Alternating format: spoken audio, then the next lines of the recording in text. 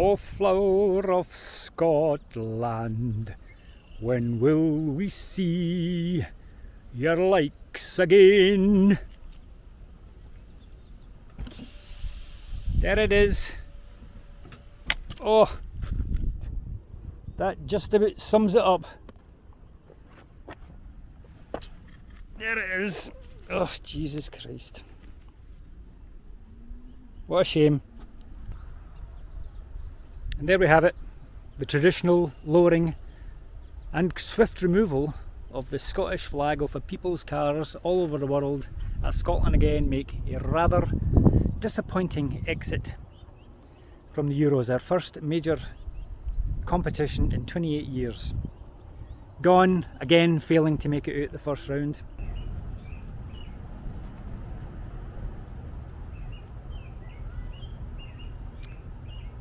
Scottish flag is lowered once again as we find ourselves kicked out on our bums out of Euros in the first round again. Three games, one goal, and we're out on our arses. Now, not to be totally unexpected, I guess. We're lucky to qualify, but one goal. I'm not going to blame the team. The team did what the team could do. That was it.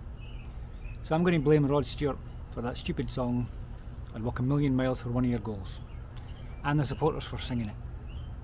One million miles for one goal? It's a bit excessive, is it no? The same with that other song. We're on the march with Ally's Army, 1977. That was for the World Cup in 1978. We were singing that song for a year before we even got to the World Cup. And we all know what happened there. Outside of Archie Gemmill's goal, that was it. Out again. I guess a few of the players discovered cocaine, so you know, I guess that was a positive for some of them at the time. But there's too much. There's too much walking and marching and no enough scoring. That's the problem. We've got to get another song. You just need to do the mathematics here, right? One million miles we had to walk to get one goal. How about we do the Proclaimer song 500 miles? We'll walk 500 miles for a goal. It's a wee bit more realistic, is it no? 1 million divided by 500, 2,000. Scotland would have scored 2,000 goals. Croatia 3, Scotland 2,000. We'd have finished in second place and we would have qualified on goal difference. Superior goal difference actually. Would have been plus 1,995 by my reckoning. So let's change the song. 500 miles, none of this million miles anymore. Who's with me? Anybody?